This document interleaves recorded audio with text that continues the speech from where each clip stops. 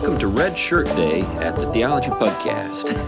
yeah, we always coordinate our wear. Uh, if you're not on uh, uh, uh, YouTube right now or Spotify and you can't see us, well, your just imagination will just have to fill in the gap. But uh, we are all wearing red today. Anyway, I'm C.R. Wiley. I'm a pastor. I serve a church in the Pacific Northwest, and I've written a number of things. My latest book is In the House of Tom Bombadil, and I'm an editor, senior editor at Touchstone Magazine. All right, Tom. I'm Tom Price. I teach theology and uh, Christian ethics. One of the places is Gordon Conwell Theological Seminary. All right. So, Glenn, go ahead and take it away. It's your show, so just take us right into it.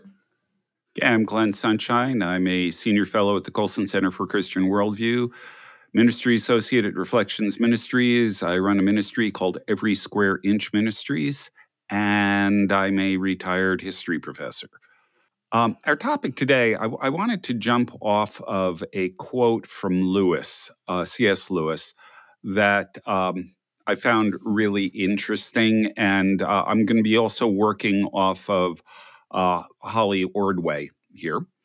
Um, Lewis said at one point that reason is the natural organ of understanding, but imagination is the organ of meaning. And I thought it would be uh, kind of interesting to unpack that. Uh, I've made an argument at a, couple of places where I've said that I believe that right now what we need is a new apologetic uh, built around imagination and beauty, much more than around the sort of uh, traditional ways apologetics has been done. And it turns out that um, since I reached that conclusion, I found out that there's an entire yeah. school of imaginative apologetics. Yeah. And Holly Ordway is a, a good representative of that. Yeah. And so I thought it might be worthwhile to explore the idea of, well, what is imagination? Why is it important? And how does it fit in with apologetics and the Christian faith? Mm-hmm. That's great a lot stuff. Of people, a lot of people think of imagination almost entirely in terms of uh, you know, fantasy, things that are completely made up or something like that. Um, but Lewis obviously didn't. So, what, what does he mean by imagination? Well, historically, the word imagination simply referred to our capacity to create images in our mind. So, that's a rather basic definition. But as soon as you say that, uh, you begin to realize that imagination is really active pretty much all the time. You know, and your, anytime, inner, and your inner John Calvin goes off.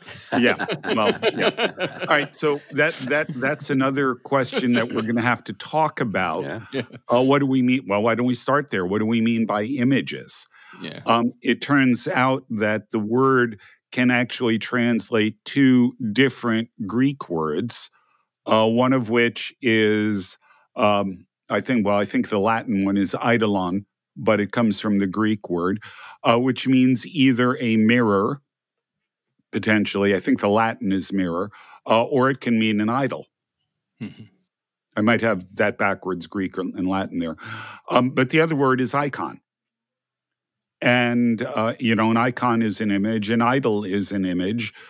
One of them and by the way, a human being is an image. A human being is an image too. Right. And the Greek word there used in Genesis 1 is icon. So one of them is kind of a legitimate thing. Human beings are icons of God, mm-hmm. uh, but an idol is something else. So we've we've got a we, you know we've got a problem on what we mean by images here. Mm-hmm. Yeah, I can't help but uh, you know in my mind go to Plato and his suspicions when it comes to images that human beings make.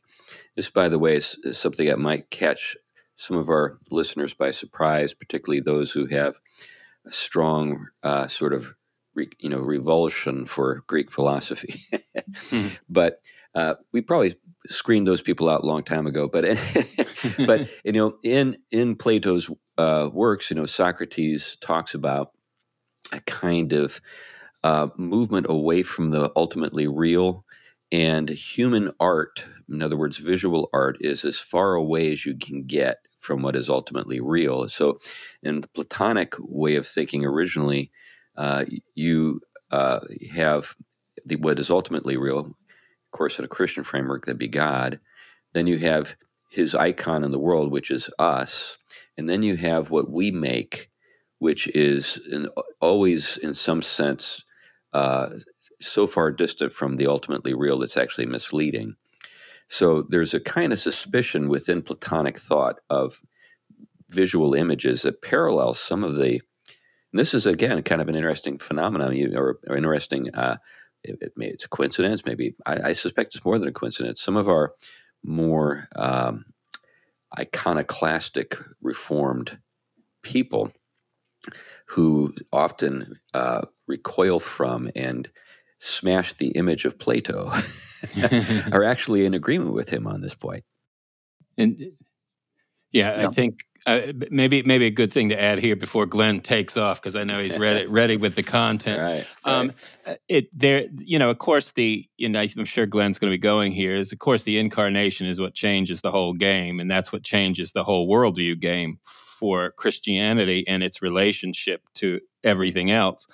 Um, but one of the things you also have coming out of, course, the biblical and the Hebraic, uh, the, the early types of iconoclasm, is the fact that the theophanic character of creation, the fact that it radiates through its creaturely distinctions the glory of God in its own way, has been filtered and broken and entered into uh, an interpretation of unreality. So, therefore, we can't read the creation or our own image the right way. So, therefore, there's a suspect, and that's why the incarnation is going to come be the proper image of God back and become the source of bringing all that back. So, so there was, there is always a healthy suspicion, um, even in the kind of the biblical mindset without Plato but the fact that matter is good in God's creation that manifests his goodness is going to change the whole game for how imagination works in in Christian thinking. Yeah, we we also have to take it a little bit further here in the sense that an image is not necessarily a picture. Mm-hmm. So human beings made in the image of God, the imago Dei, we we are not a physical representation of God. Yeah. So images in in the sense that the word imagination is talking about, images refer to more than just visual images. There are other ways of imaging beside the visual. Yeah.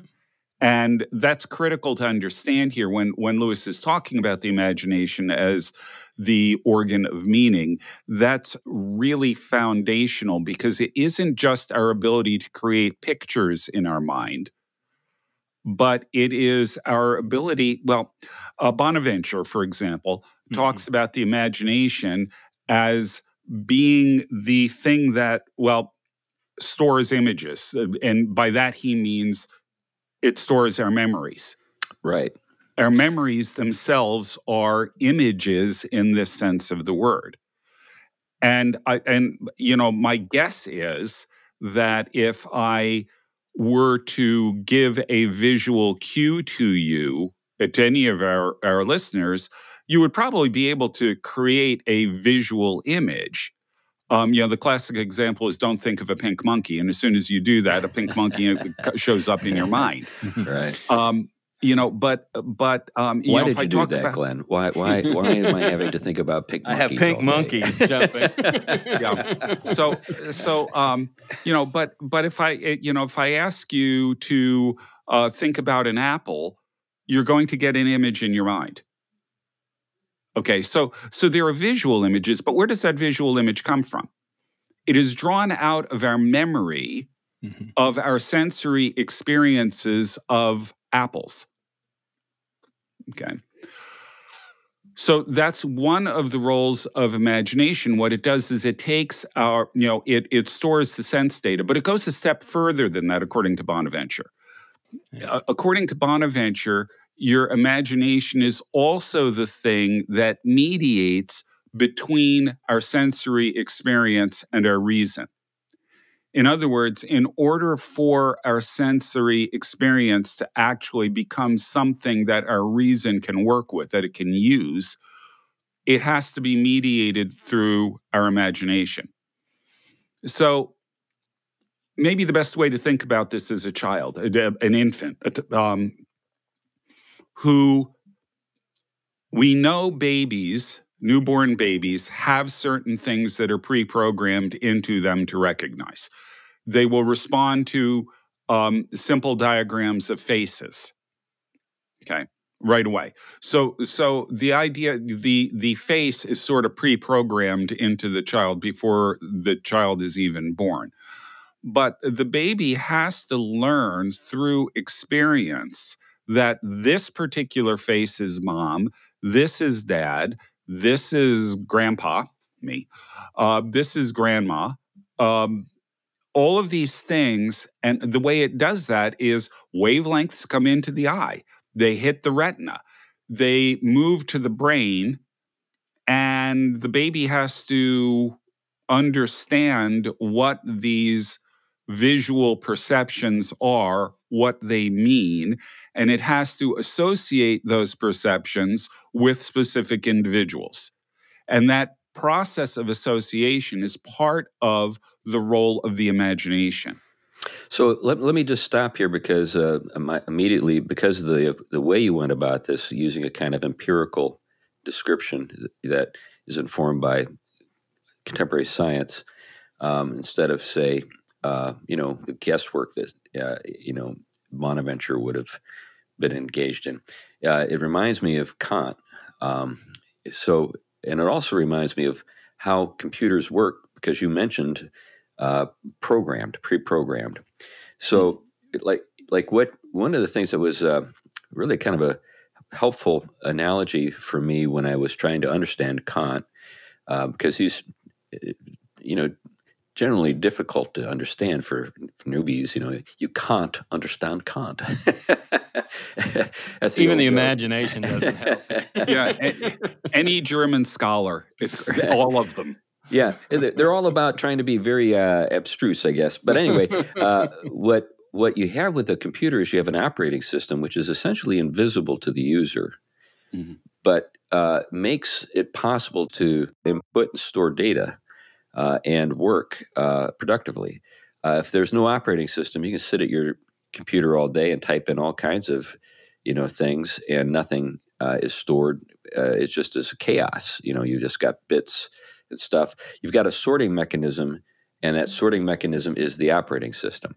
So, uh, people who remember Windows uh, and kind of the breakthrough Windows, what uh, you know, brought to the world of computers that were not Apple. So before that, we had DOS, which meant that everybody had to be at least a little bit computer literate, and that's why so few people uh, bought computers in those days. And and then the, then Windows was created, and Windows was the image. In other words, you you open a window and you it, it helps you to see. Uh, and you had a you had a visual interface, but that indiv- visual interface was the operating system, and it made it possible to store data memories. Uh, memory was accessible because of this. Uh, so there's an interesting interplay. Now the problem, of course, uh, when it comes to uh, reality, is it just in our heads?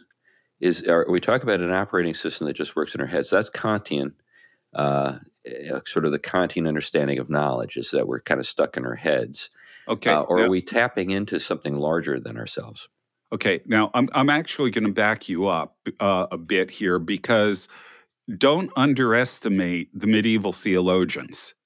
Well, um, yeah, in in terms of their the sophistication of their understanding of what's going on in the world. Uh, medieval Glenn, scholars. Glenn, Glenn, really quick because I think you could. I hmm. think I have a point that that you can actually complement much better by saying that same point after I say it, and I'll show okay. you why. Because what happened when Lewis comes around is you're already dealing with a fragmenting of something that was richly held together in the medieval world. And what you have going on in England in particular is the lingering domain, especially in the hard sciences of the Enlightenment, limiting things to a hard rationalism or a hard empiricism that has led to skepticism ultimately of whether we can really know things in a Humean sense, even empirically. So you still had positivism um, which really tried to posit anything you can't know through experience or or you know or something purely a pure reason um, you can't know at all but pure reason could never really end up touching the world. So you had a skepticism growing in rationalism and then in germany the continental philosophers they saw the dead end that that hard enlightenment was going so they wanted to retrieve things that were left out of hard rationalism and hard empiricism things like imagination, things like Gefühl, thing, you know, feeling, um, you know, feeling of absolute dependence. All the romantic line comes to make up for that gap that's missing. Lewis's brilliance is he's connected to a medieval world that recognizes there is something that can hold those together the right way, and that's what Glenn's going to talk about. well, yeah, I'm, I'm going to get there uh, by backing up yet another step. Um, it, it's really interesting when you look at medieval science, which is not really an oxymoron. Um, when when you look at what they were doing, they were really obsessed with optics. Okay, they were really really interested in optics. They were pretty good with statics and physics. Um, otherwise, the cathedrals wouldn't have stood up. But um, they did a lot of work with optics. I mean, Roger Bacon, 13th century uh, English Franciscan, actually broke white light into a spectrum 500 years or so before Newton. He did it with a drop of water, hmm. okay, rather than a prism. Why, why were they obsessed with optics? Well, because optics is the branch of physics that is most directly connected to perception and therefore to epistemology, to hmm. knowledge. So they were doing a lot of work trying to figure out how light works, how the eye works, because well that's part of the reason has to do with its connection with epistemology. Part of the reason has to do with um, well with the creation. Light was the according to uh, Test, light was the first object of creation. Yeah. um, and uh, scripture talks about uh, christ is or the word being the light that enlightens every man. So th- they saw light as being the thing that is in a sense an emanation of god not quite literally Mm-hmm. but that is most that most directly reflects who God is. So there's a theological as well as an epistemological significance to light, and they spent a lot of time studying it. Mm-hmm. And they mm-hmm. were really interested in issues of perception yeah. because of its connection to epistemology. Yeah. And what Bonaventure is doing here is he is saying that our sense perceptions, which are, well, they're empirical, but our sense perceptions are filtered through our imagination to create to use modern terminology to create the data that reason then can use. It's our imagination that turns our sense perception into memory. Our memory becomes the storehouse that reason draws from. Yeah. now you you you can see this again um, in um, well one of the examples holly ordway uses is writing Mm-hmm. What you have in writing is a set of squiggles on a piece of paper. Mm-hmm. What you have to do is take those squiggles and determine what they mean. But the way you do this is through your imagination. Your imagination, the, the use of images here, the creation of images, and all of those sorts of things, is what translates writing to words. And so the imagination is fundamental at that level. Same thing actually applies to hearing, which she also points out. What you're hearing right now is a set of vibrations in the air that are causing your eardrum to vibrate, which moves the hammer, uh, you know, the, all, you know, all of the uh, the bones in the inner ear, which translates it to nerve impulses, which go into your brain, which then translates it. That is also an act of imagination. And, and there is a, I think, because of the rich view of creation that we're dealing with in that picture, you're dealing with something that theologians will often call call the you know superfluidity um, superfluous um, nature of of reality and therefore imagination is that tool for getting a hold of that which means a creaturely thing is not merely just the surface of its material manifestation.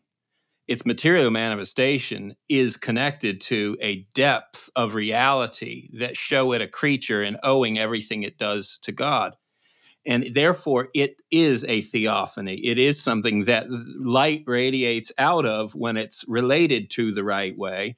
And that radiation of light is what is actually penetrating. And this is why Bonaventure's favorite language uh, or favorite passage, isn't it, the, from James, that from the Father of lights comes every true and perfect thing. And those perfections, if you will, are part of what the imagination is getting a hold of the, the way in which you have manifestations in concrete material forms, if you will, to borrow some some uh, Aristotelian language and Platonic, but in a way that there is radiating from it something more than its surface. And yeah, yeah this sense this, perception this, gets a hold of the surface, but it does not by itself able to to apprehend, if you will, or get a hold of the rest of it.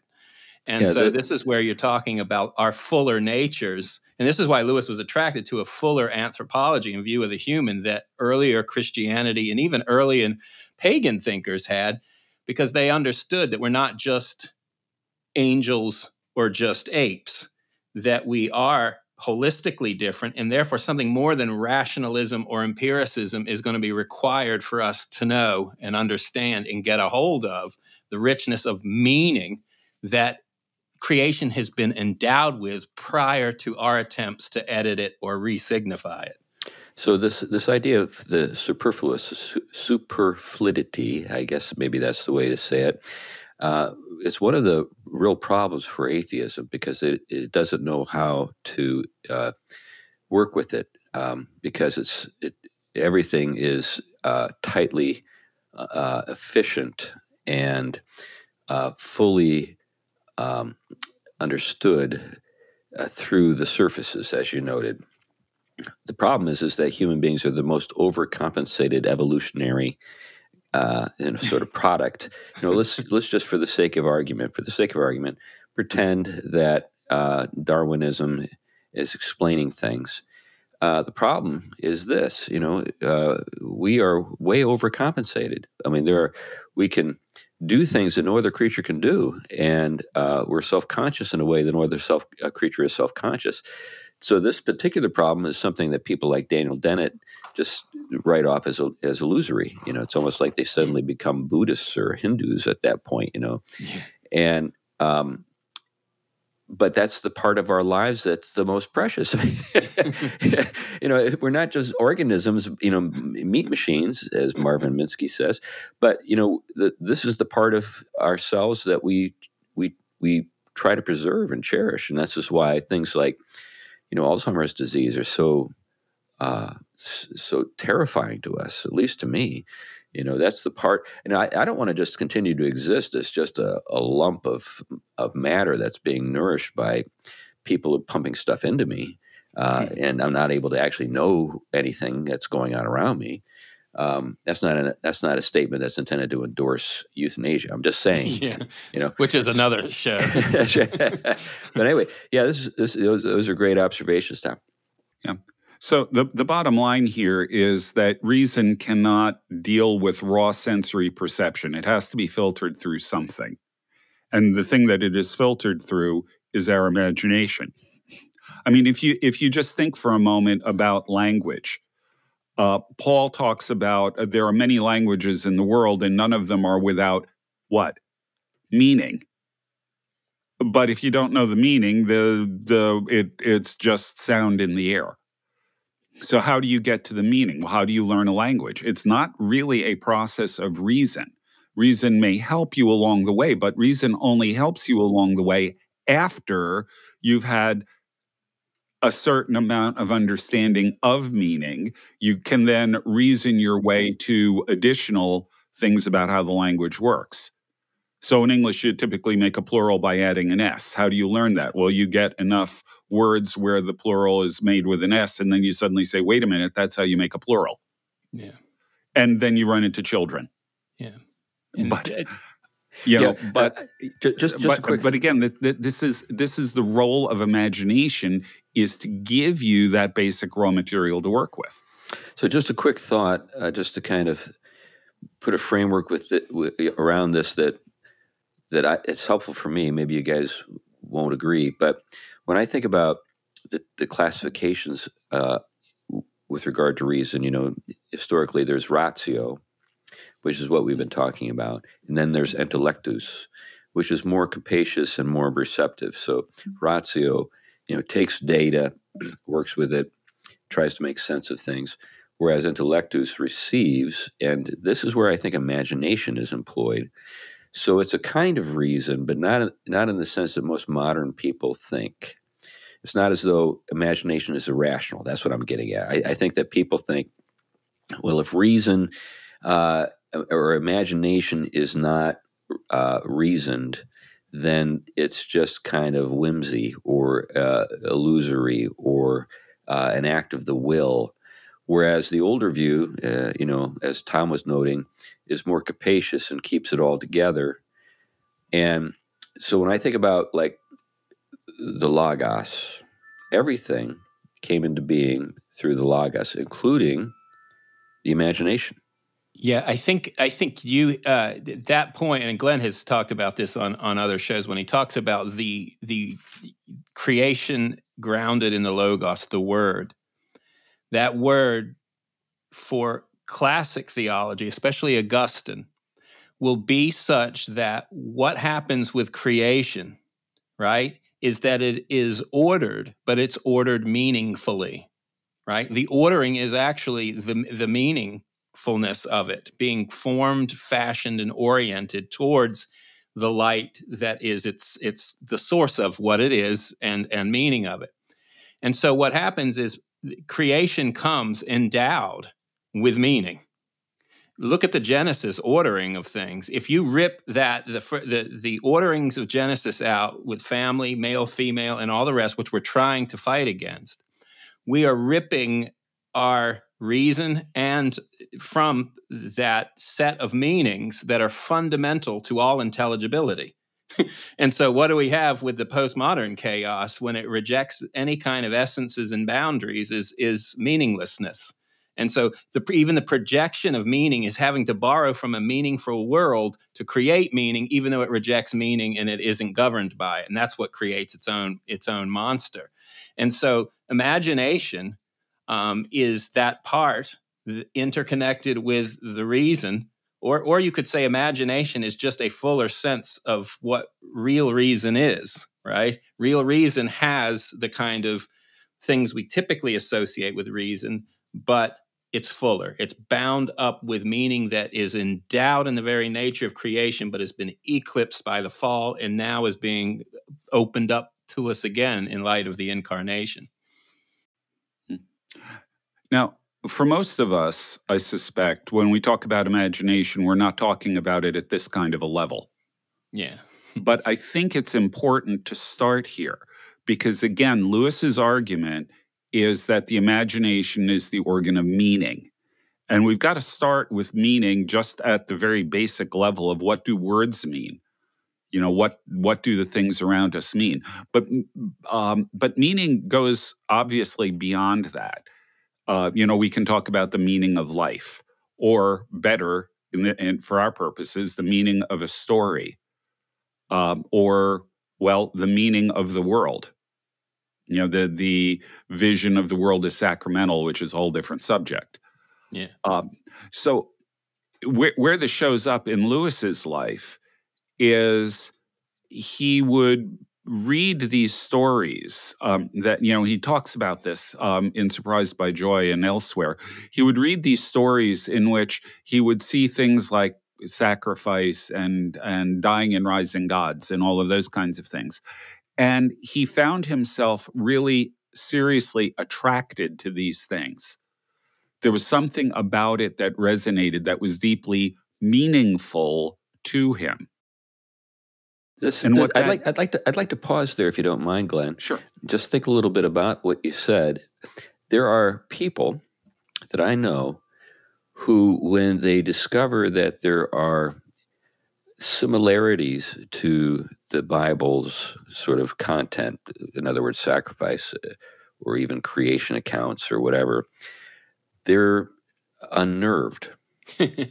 In other words, if, if, if it's not in the Bible, it must ipso facto be completely wrong, like saying the sky is purple or sky is orange when it's clearly blue. In other words, um, they they don't have a sense of truth being um, somehow uh, present in anything except the Bible. Um, so, and then even the idea of a partial truth uh, uh, offends them. Um, and so, what they'll do is uh, they'll try to figure out some way to explain these literary uh, similarities uh, by saying, "Well, they must have heard Moses, or they must have Yeah, read the yeah. Bible Well, somewhere." that's or an something like- early. yeah, you know what I'm getting. What I'm getting at. yeah. But but if we have a high view of creation and the creation speaks, this is the problem. We don't have a high view of creation. Uh, many contemporary evangelicals have a very low view of creation. They have a, a, a view of creation that's more in keeping with Richard Dawkins than Yeah. Bonaventure.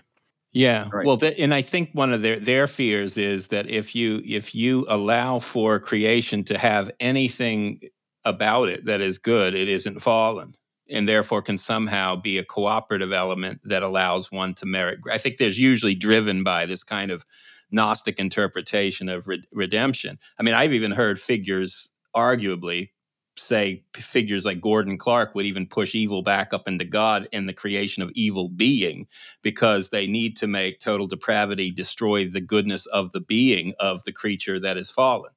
And see, this is one of the things is that the fallen world, though it eclipses and deforms and depraves th- the creation, it does not take away the goodness of the createdness of the creation.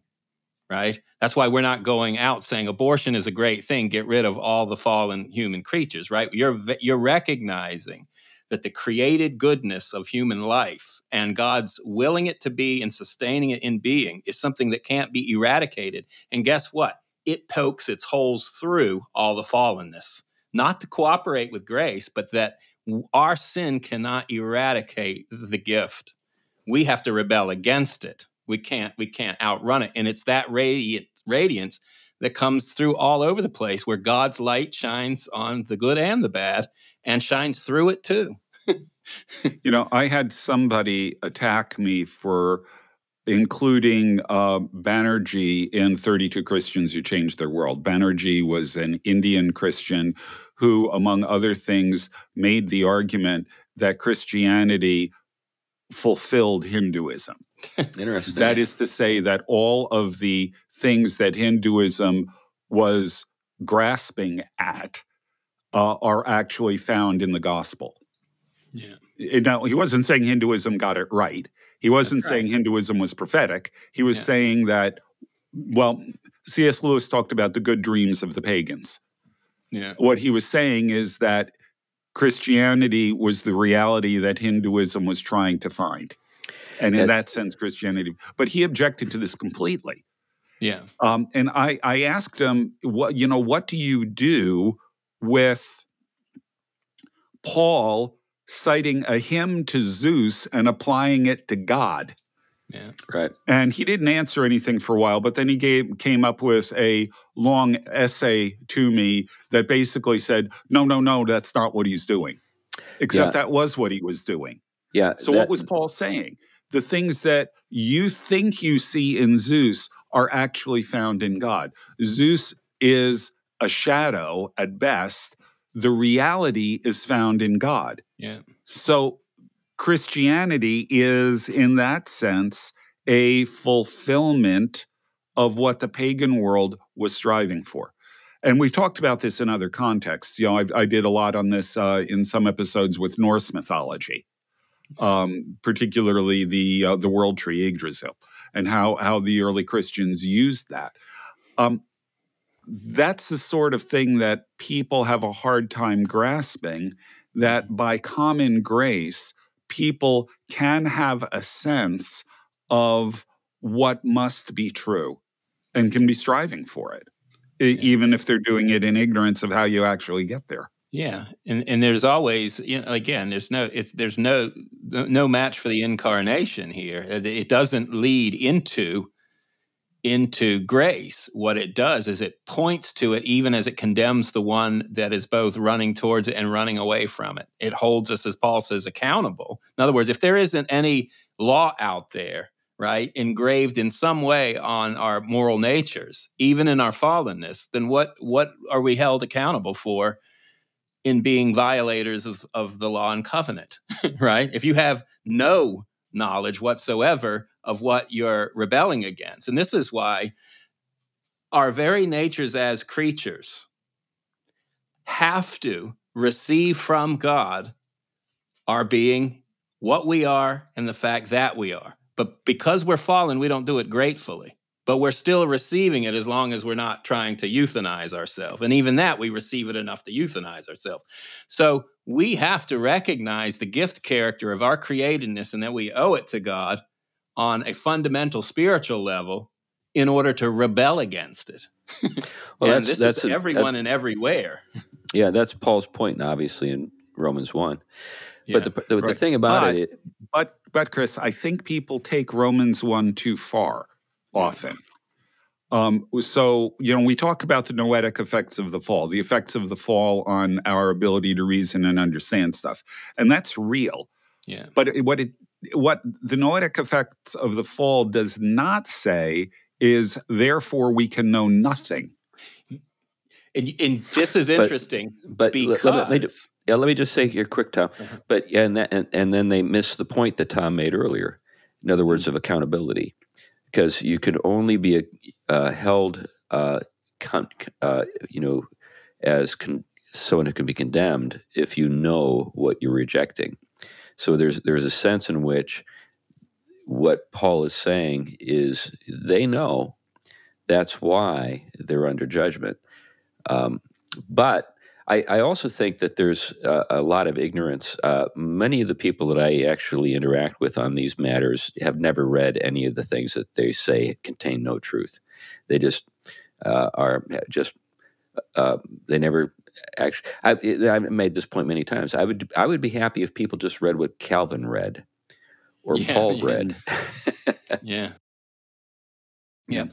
And, and I think I think one of the things I was going to add is that we can't undo the metaphysics of creation, and we can't undo our own metaphysics. In other words, we can try to use operations to alter ourselves from male or female. We don't undo the metaphysics of what we are, and this is part of what frustrates us: is we can't be God in some sense to choose for ourselves what we want to be. We owe it to the creation. Same with the meaning world is no matter how much we even try to run from God, we're still having to draw off the surplus of meaning that is founded in stamped into the very creation. So even all of our attempts to do run away and rebel away from truth still will manifest some truth because we can't outrun it. And this is the thing. So on the one side, not everything the pagan does is is is all evil all the way down. There is truth that is a common grace that allows for some civilization and surviving and continuing the creation for God's redemptive purposes, right? Like, like the pagans were readying up a language, if you will, in Greek for us to have the New Testament to go into all the world because most people at that time were definitely not going to be speaking Hebrew. And so here, here you have a, a readying it. But on the flip side, even the attempts to reject creation and run from it. Even your Nietzscheans can still bear witness, in spite of himself, to profundities because he can't outrun the truth that he has to draw from and enact as a creature in God's meaningful creation. So, um, back back to Lewis and the good dreams of the pagans here. um, what what do we see? Um, it, it's it is actually his love of these myths that will ultimately be the key thing that's going to lead him to faith in Christ. Because he found meaning in a deep way in these stories. And it's interesting, you know, he he first becomes a theist, describing himself as the most reluctant convert in all of England. That was a conversion to theism. It wasn't a conversion to Christian theism. In some of his letters i believe it was he was talking about the the obstacle to him becoming a christian he could understand you know intellectually the doctrines but they didn't mean anything to him. It, you know, substitutionary atonement, sacrifice, all of these kinds of things, the incarnation, all of these things seemed meaningless. Like I said, he knew all the words, he understood them intellectually, but he didn't find any meaning in them. And it wasn't until his, well, his imagination was engaged that he found meaning. This is the famous conversation on Addison's Walk with Tolkien and conversations with Hugo Dyson, where they say to him, you know, you you look at you know the myth of Balder and all of these other guys, and you found find them profound and deeply meaningful. You find the idea of sacrifice and self-sacrifice and all of these kinds of things really powerful and meaningful in the myths but you don't in Christianity. What you need to understand is that Christianity is a myth like the other myths, and it has just as much meaning. But unlike the other myths, it's actually true. true it yeah. really happened. Yeah. And it, it was it wasn't until they connected the doctrine to his imagination, to these things that moved him powerfully that he that it cleared the weeds enough for him to become a Christian. This reminds me of Mortimer Adler's conversion. So Mortimer Adler, a Jew, uh, who was responsible for the Great Books program at the University of Chicago, um, became a Christian uh, through his reading of Aristotle and Thomas. So, but it was in a stepped a process like you just described for Lewis. First, he becomes a theist, and then he becomes a Christian. I think this is one of the things that annoys me a little bit about uh, some uh, understandings of apologetics. Some understandings of apologetics are so, uh, I guess, um, radical that you you don't actually have any room for this sort of stepped process. It's like the whole thing or nothing happens. Uh, but we have in these two instances, you know, evidence that the classical approach of first uh, coming to believe that there is a creator and that uh, reality is ordered is the first step toward uh, salvation. In other words, salvation, you're not saved because you believe that there is a God. Um, yeah. you you you have to trust in Christ. So, but the first step is you have to even be open to the prospect that there is a God. yeah, and that's that's fine to make that the first uh, order of business. Yeah, you know, one uh, just as a case in point, one of my uh, my brothers came to faith in just that kind of process. Um, as a scientist, he didn't really see any need for God. But then when he was confronted with evidence for it in the form of Stephen Meyer's book, uh, The Return of the God Hypothesis, that convinced him that there had to be a God. And from there, he went to actually Lewis, Mere Christianity, to get to the idea of God as personal. And it was this step by step thing that, that ended up bringing him to faith. I personally like the story of Peter Hitch, Hitchens, who who was looking at art and, and the judgment scene, scenes in art, and right. it he it, it hit him one day. What if this is true? yeah, and hopefully we're going to be with uh, Peter. We're working on it uh, when we're in Oxford. Uh, we've got some we've got some feelers out there trying to get uh, Peter to come and talk to us. So hopefully that'll work out. But maybe it, we can make that the theme of the show if we can if we can talk it, to him. It, it plays right in because what do you have going on in that artwork but an invitation, like the parables in Scripture, an invitation to perceive reality in a different way. And it, when you're able to invite it in this way, it addresses us more than merely just as angels or or apes. It addresses everything about us, including that surplus about us that this level of imagination and perception tap into. And that's why this artwork spoke to what if this is true, right? That scene starting to do that. And Lewis will say this with all kinds of things. He will say, it's not, it, you will hear the divine riches of glory through a piece of music, but if you turn and to the music itself rather than see it as this uh, the, theophanic vehicle for it, you're starting to miss the point. And he was so cognizant of that because of the empirical world that would look at this sound and try to measure it rather than to see what is created and communicated through it. In the same way with a beautiful piece of of poetry or a story or a narrative or something that something is echoing from creation or the creator that is connecting with our transcendent yearnings and it is because of that that these richer levels of perception are, be, are able to be communicated into. Yeah, I, I, I want to just put in my, I, I, believe I've done this multiple times, but it's sort of obligatory, almost like slamming Rousseau. Um, I, I, want to uh, point out to second amend, uh, second commandment absolutists that if that were if we followed through on their ideas, none of those paintings on, of the judgment would exist. Yeah. Because all of them feature Jesus. Yeah, and and it, I, I am with at least enough with the earlier uh, debates to say the incarnation to wrestle through the significant importance to take the incarnation with uttermost seriousness demands that the creation be viewed in conformity to Christ sacramentally again and can be used in these ways. Um, Jesus does it first for us with the parable. What is a parable? It's the telling of this kind of story that we can all connect with and understand in a narrative form that is inviting us to perceive normal things in a strange way, you know, as Alice Milbank puts it, right? Yeah. And uh, this is this is what we're doing with the rest of creation. Well, and, and it's also what we do with scripture. Um, uh, Erich Auerbach, who was a, a yeah. great literary critic, wrote a book called Mimesis.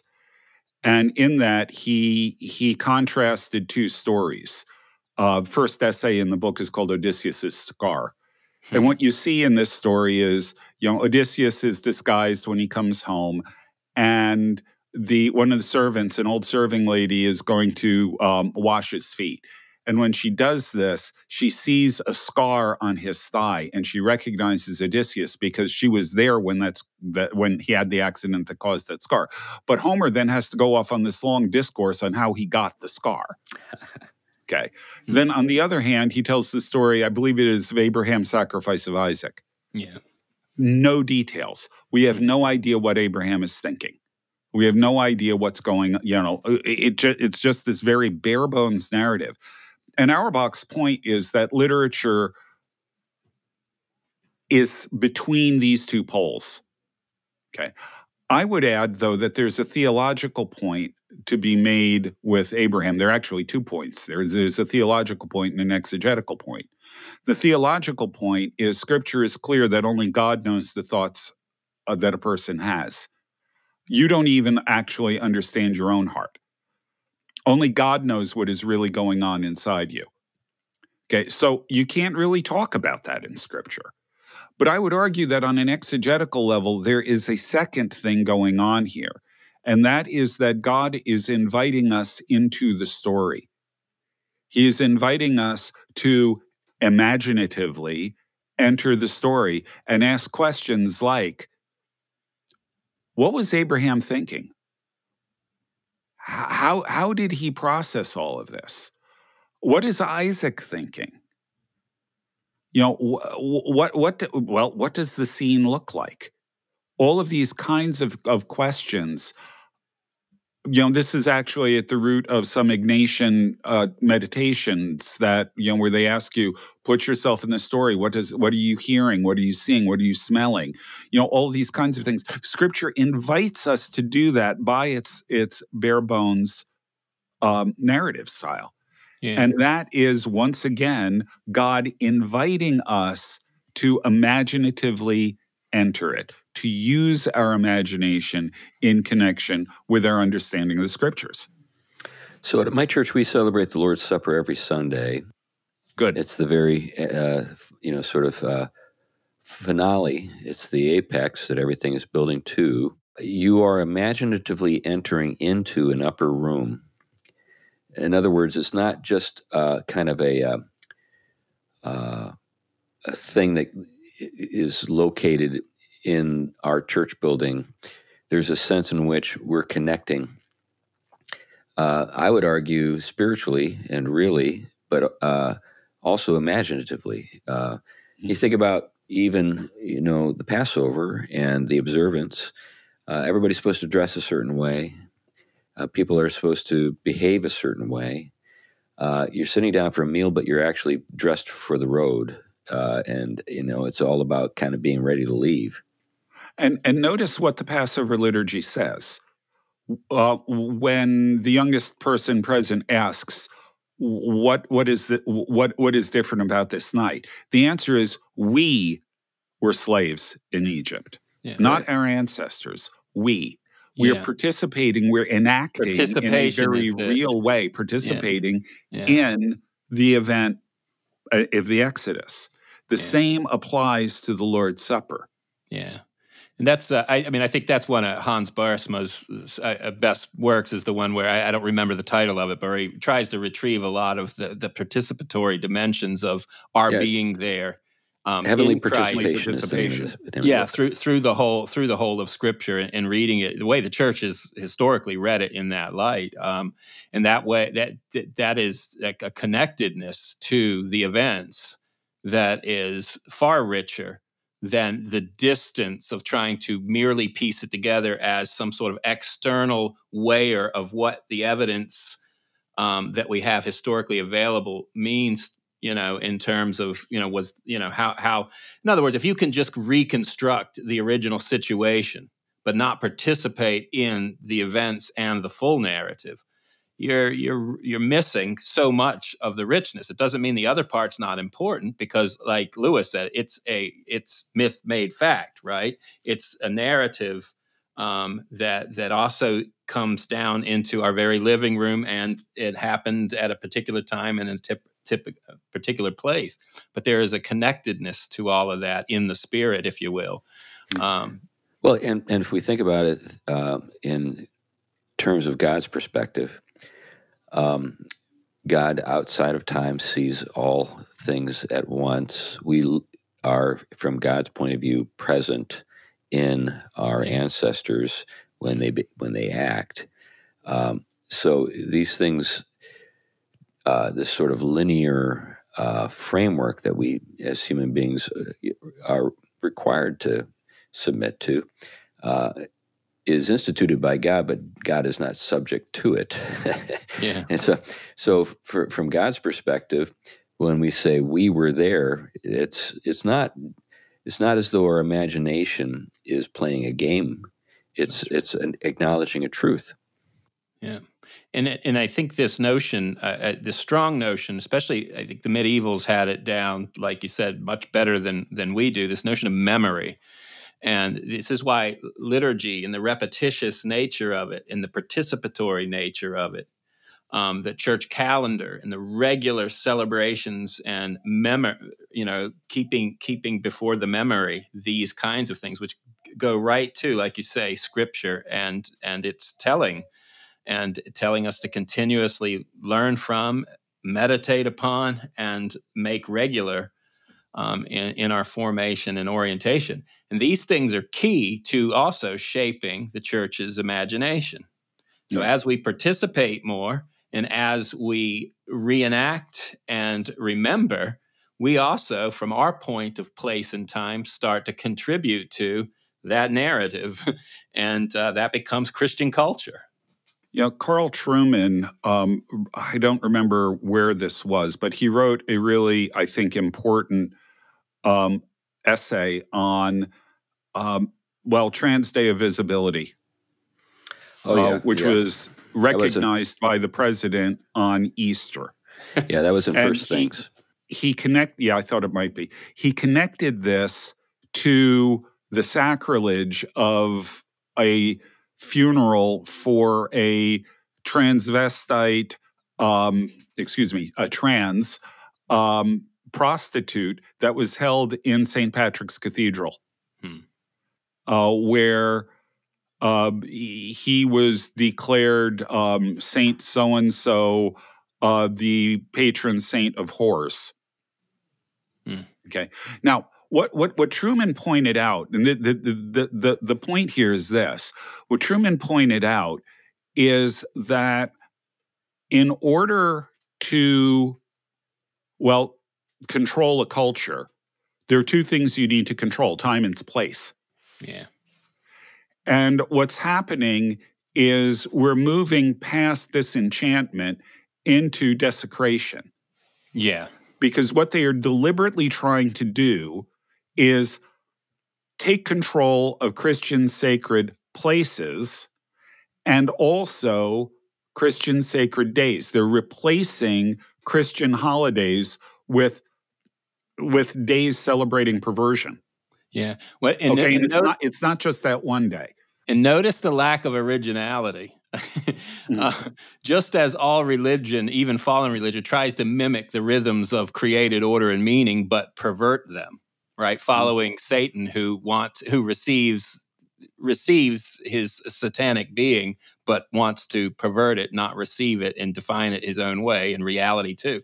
So do they take the meaning structures of Christianity and need to borrow from them, right? And again, I understand there's an imitative nature to reality. But what the, the other side is this that they can't muster up the creative capacity that Christianity can. Um, at least the pagan world had, in even though it had its own perversions and distortions, it had elements of of of of developing culture and developing virtue and things, splendid vices. Um, and eh, you know, this is something very different than than here. S- sacrilegiousness and and and uh, a tearing at the sacred is is more perverse. sacrilegiousness, but also der- uh, derivative to the to the point of boredom. You know, Yeah. the thing about Hollywood today is that nothing original is coming out of it. It's all uh, kind of rehash, but rehash serving a particular end. Yeah, So you know, we take a story that was uh, uh, worth reading or worth watching, and now we just sort of move the characters around a bit. Uh, we make the her- the hero a heroine, or we turn the bad guy into a good guy. Uh, You know, those kinds of things. Um, it- but there's nothing actually uh, generative, original, or interesting about any of this stuff. People people notice that. Um, there have been many many appeals to Christians to be better when it comes to things like telling stories. Um, unfortunately, uh, much of the la- la- second half of the 20th century was just es- essentially the church doing a weird kind of uh, appro- you know, sort of retelling of. It's like everything was like secular in origin, and then we gave it a Jesus gloss. So, like, Chris, that is that is my show next, so don't go too far into that. I, I'm All right, serious. I'll, that, I'll, I'll the- stop. I'll stop right there. that is the topic of the next show. So.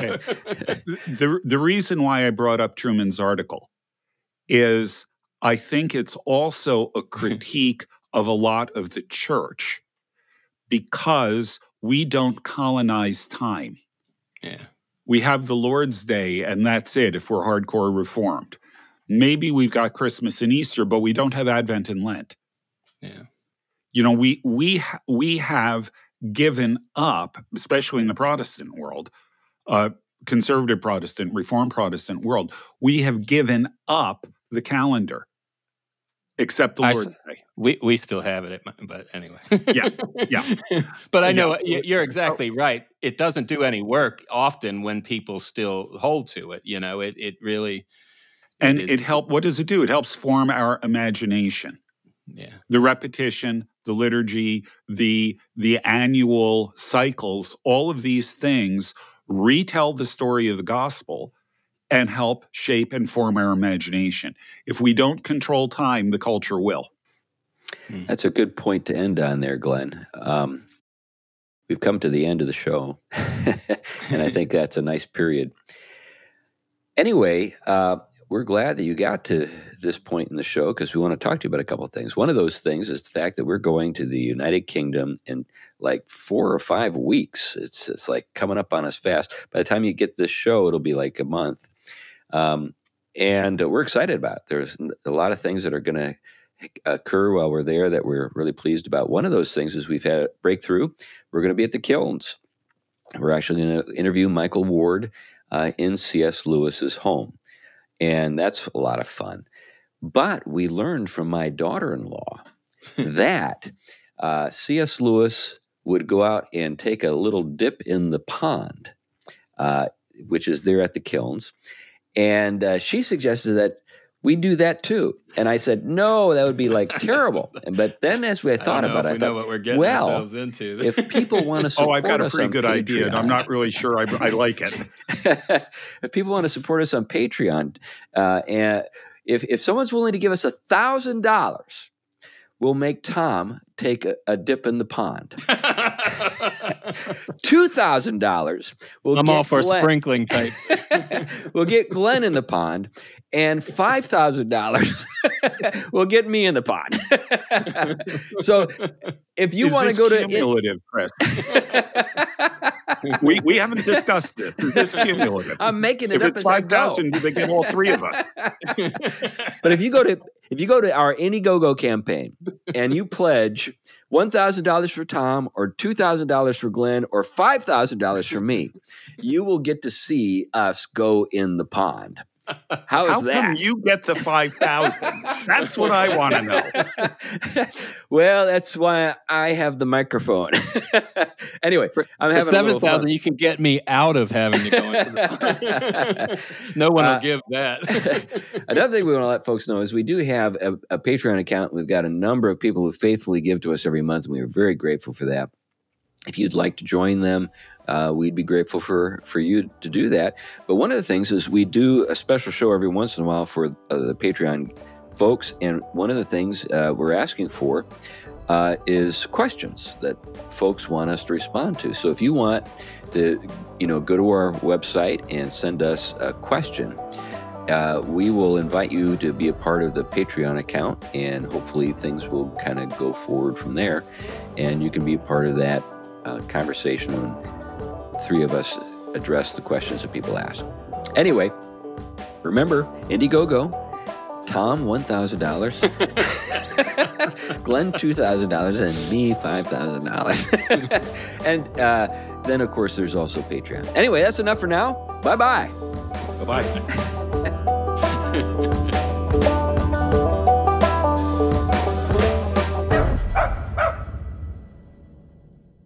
The Theology Pugcast is a ministry of Trinity Reformed Church in Huntsville, Alabama.